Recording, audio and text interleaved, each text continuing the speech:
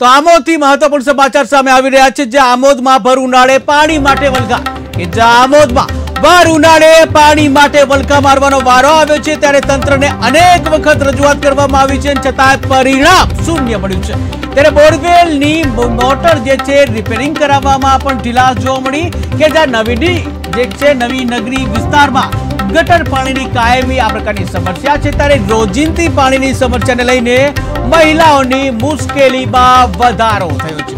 બીજા મહત્વપૂર્ણ સમાચાર આમોદથી સામે આવી રહ્યા છે. આમોદમાં ભર ઉનાળે જે પાણીનો કકળાટ જોવા મળ્યો છે. ભર ઉનાળે પાણી માટે વલખા મારવાનો વારો આમોદ નગરવાસીઓનો આવ્યો છે કે જ્યાં આમોદવાસીઓએ તંત્રને અનેક વખત રજૂઆત કરી હતી અને આમ છતાં જે પરિણામ શૂન્ય જોવા મળ્યું ત્યારે બોરવેલની મોટરનું રિપેરિંગ કામમાં પણ ઢીલા જોવા મળી રહી છે, ત્યારે નવી નગરી વિસ્તારમાં ગટર પાણીની જે સમસ્યામાં જે કાયમી જોવા મળે છે, આ પ્રકારની સમસ્યા, ત્યારે રોજિંદી પાણીની સમસ્યાને લઈને હાલ તો મહિલાઓની મુશ્કેલીમાં પણ વધારો થયો છે.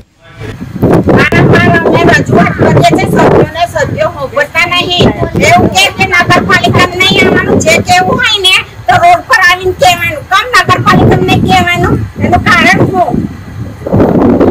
છે અમારે પાણી વગર જ બહુ પડે છે.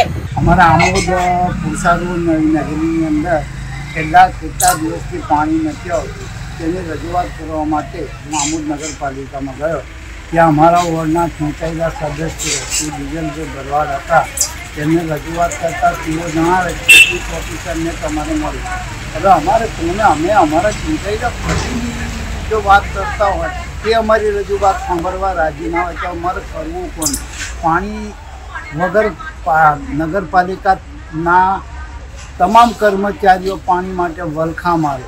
તેમજ પુરસા નવી નગરીમાં અગાઉ માજી સરપંચ જે સાજીદભાઈ રાણા સાહેબે બોર બનાવેલા. એ બોરની મોટર પણ ભરી ગઈ છે. તે પણ અમનાથી રિપેર થતી નથી.